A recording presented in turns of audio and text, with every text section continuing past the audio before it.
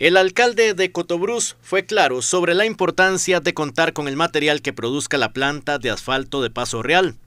En diciembre de 2022, el ministro Luis Amador reinauguró la planta y habló sobre un convenio con las municipalidades para el uso de material, pero hasta el momento la espera continúa. El alcalde de Cotobruz, Steven Barrantes, espera respuestas sobre el convenio. Bueno, nosotros estamos a la espera ahí de algunas observaciones que hicimos con respecto al tema de la planta de asfalto. Eh, sí, igual, pues con don Luis hemos tenido buena relación y hemos conversado con él. Eh, queremos solucionar ese problema. Creo que más ahorita, en este momento, un momento donde la misma región, toda la, región Brunca está teniendo problemas serios para poder acceder a la mezcla asfáltica, que eso pues también podría ser una muy buena oportunidad para que la planta de asfalto pues empieza a funcionar.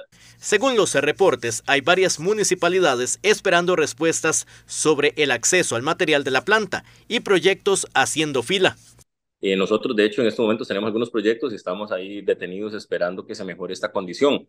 Entonces, eh, de igual manera, pues queremos poner a caminar algunos de esos proyectos y la, las municipalidades, tanto Pérez Celedón, Golfito y Cotobruz, pues sí hemos estado en acercamientos eh, constantes con, con el tema de la, de la planta de asfalto. A la espera también de, de la firma del convenio de parte nuestro por algunas observaciones que tenemos ahí.